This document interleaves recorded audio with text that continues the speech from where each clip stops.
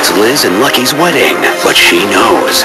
Lucky is not the father. Jason Morgan is. For the truth to come out, I'm not going to be able to sit there and watch. now is the time. Speak now, or forever hold your peace. Watch General Hospital weeknights at 10 on SoapNet.